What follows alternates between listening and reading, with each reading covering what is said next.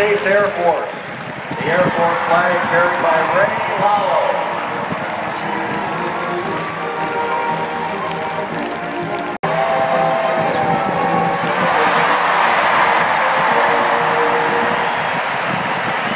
Thanks to the members of the United States